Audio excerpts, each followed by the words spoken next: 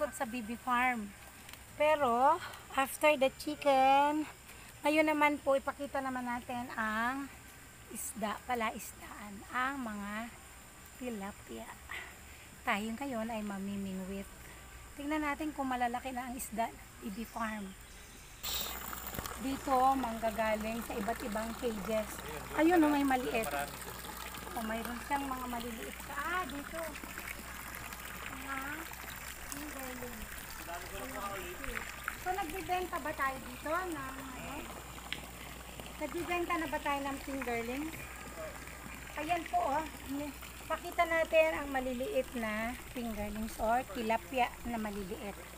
Pwede din po kayo ditong bumili sa BB Farm kung gusto nyong mag-alaga ng tilapia. So lahat ng ito ay maliliit. At yun naman ngayon, nakita niyo po yung malalaki. Ayun siya. Okay. Pupunta tayo dyan sa sa kubo. Ayun. Ayun, nakita nyo? Ayan ngayon yung malalaki na. Mamaya, mag-fishing ako dyan. Tingnan natin kung makakahuli ako. Mhm. Wow! Gutom na nanananghalian na sila. Oh. Sige pa. Yan. Oh. Ang happy-happy nila sa lunch nila, oh. Oh, nasa na yung pampingwit natin, Son? Diyan ba? Diyan ba atin? Ay, i-demo sa atin ni Kuya Anton kung papaano ang paghingisda or pag pag-fishing. Mamimingwit kayo. Kuya Anton, ano ba ang paraan at paano natin gagawin? Ito ba'y ganito na lang basta o may paraan ba Siyempre, ito? Unang-una po, ilalagyan mo yan ng bulate. Bulati po yung Ayan pakain po, natin. may bulate yan. Okay. Matapos, ang gagawin nyo lang po, ay hahawakan nyo rin yung tansi. Itong Tapos tansi. ito i-open nyo, saka yun po doon. Okay. So then, how? Wow! Very much. Wow! Very fast. And then, we will wait. Tapos antayin nyo lang po na ay mahuli. Okay. Sige, tingnan natin kung may kakain ng iyong bulate.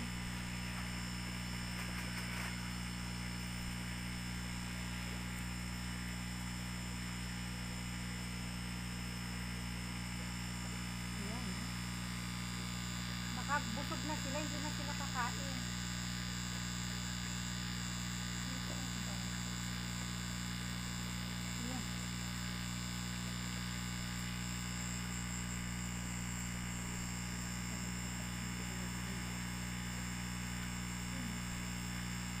Ayan, basta-basta mamimitan. Ayan. Pag busog sila, hindi sila kakain. Ano? Nagpakain na sila. Alam mo, hirap lang na nag-vlog. Oh. Yan oh, yan oh. Hinahabol ako. Oh. Ang Dami na fish.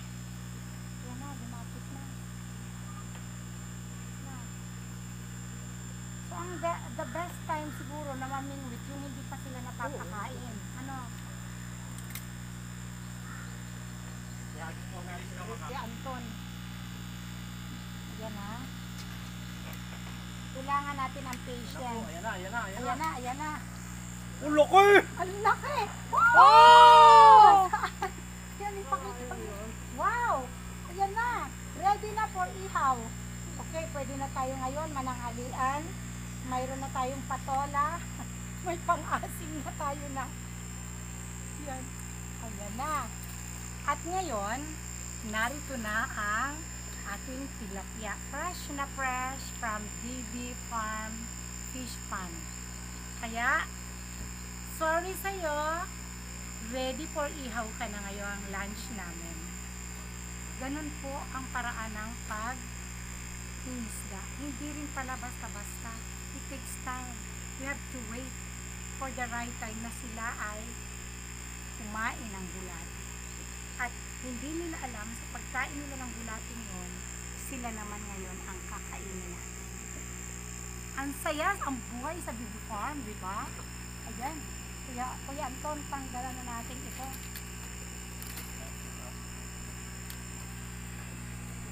Hawakan nyo lang po dito at baka kayo matinik pa ganyan. Hindi pa ganun po ang hawak. Saan? Hindi pa ganyan ang paghawak. Oo. Para hindi kayo matinik. Oh.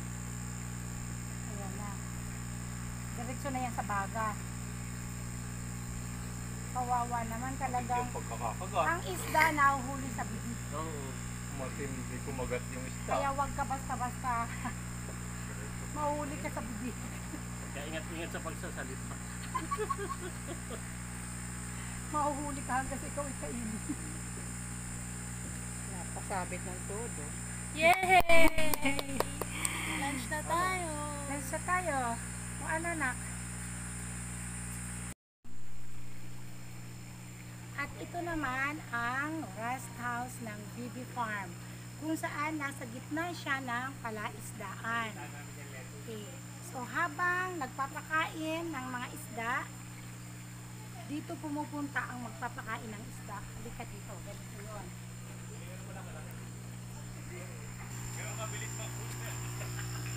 Okay. Pagpakain natin ng fish. Yan. So ito yung mga inahin na tilapia. Lahat ng narito sa area na to ay manganganak sila.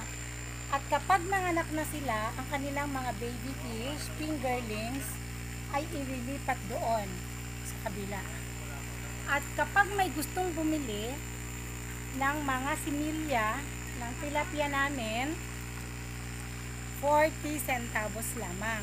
Pero yung medyo malaki-laki na, 1 peso each. Kaya itong mga fish na ito, hindi namin ito hinuhuli dahil ang kanilang gawain ay manganak lang muna sila, manganak ng manganak. Kaya po yung sa kabila, doon po ako mag-fishing, doon kami kumakain ng pang-ulam, kumukuha ng pang-ulam. Ito yung mga inahin ng aming mga tilapia. Okay. Dapat sana ipinapakita mo lahat. Pahinga muna tayo dito sa rest house sa gitna ng kalaislaan. Hindi pala basta-basta ikutin ang baby farm.